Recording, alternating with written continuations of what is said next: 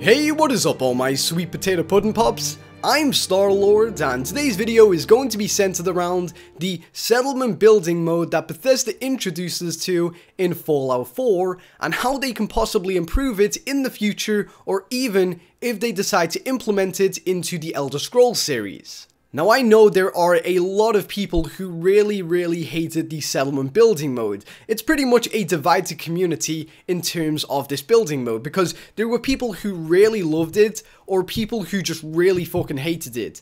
And from the community, I've gathered that the majority of people really hated it because of the paid DLC. And that was, of course, that three of the DLC packs in the Season Pass was actually for settlement building. And a lot of people really disagreed with that, me included. But there is no denying that the settlement building mode was a huge success amongst the community. I mean, a lot of people really loved it. And if I was to choose love or hated, I would definitely say love it. It is definitely one of the best qualities of Fallout 4. Anyway guys, let's get on to ways that Bethesda can improve the next settlement building mode.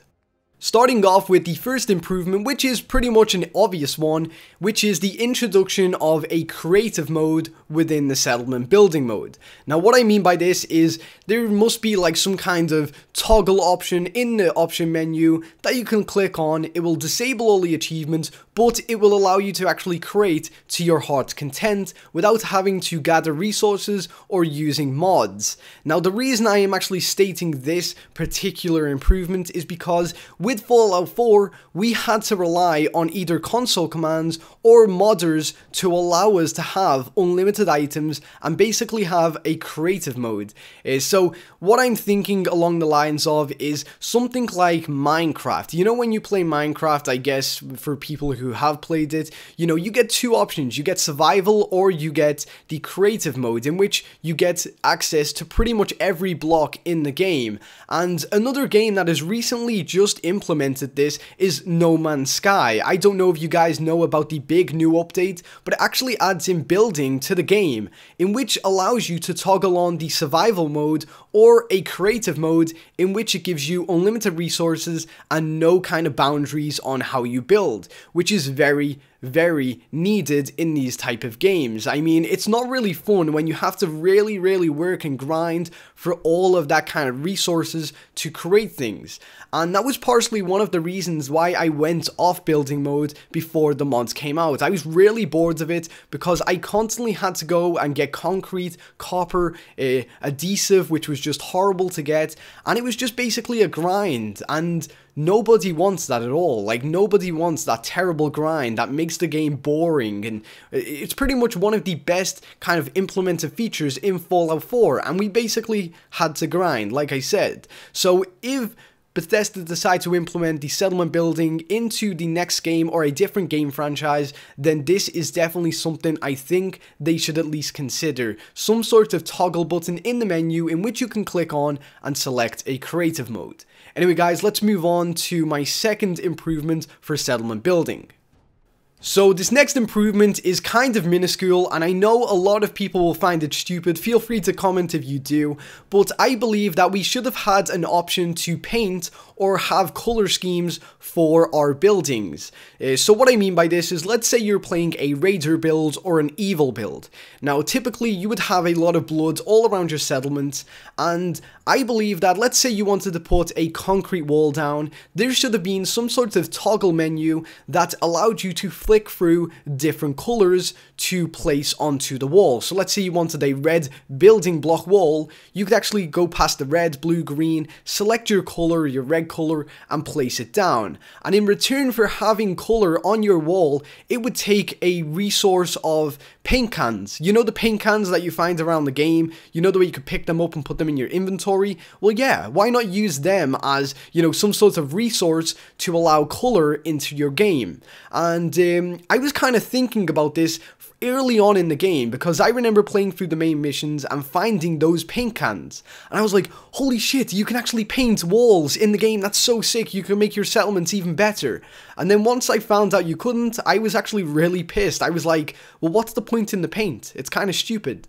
Uh, so yeah, kind of like a small improvement, but I do believe that to give the player maximum creativity in their settlement and to tailor their settlement the way they want it, they should at least implement sort some sort of painting. I mean, Two games that do this, again, No Man's Sky recently just made that update. You can actually tailor your buildings the way you want them. If you want a blue and red building, you can have it. It's pretty simple. And uh, like I said, Ark Survival Evolved. You could actually use berries to make dye and then paint your buildings. It was super cool. And I believe that Fallout 4 should have had it. Unfortunately, it never, but I believe that Bethesda should implement it in the next game. Anyway, let's move on to our third improvement. So for this next one, I am going to keep it short and sweet. It's basically a camp anywhere slash build anywhere option. And one example of this is a very awesome mod that somebody created that gives you camping equipment. And let's say that you want to camp in a cave overnight because there are dangers around you. You basically set up a little tent, a little fire, and it's super cool, super immersive. I honestly feel like they should implement this in the next game. The mods actually existed for Fallout 4 and Skyrim, and I played both of them, and I was like, holy shit, this should have been in the base game, it's so fucking cool. If you guys do want to check out that mod, the mod link will be in the description on Bethesda.net. Anyway, let's move on to our last improvement. Once again, I am going to keep this one short, but a recent Reddit post actually pointed out how none of the settlers pretty much know who you are and they don't really appreciate what you do for them. And that really opens up my eyes after reading the post. Uh, so first of all, we got Marcy Long. Now, understandably, Marcy Long was in a bad mood and that was understandable because of what happened.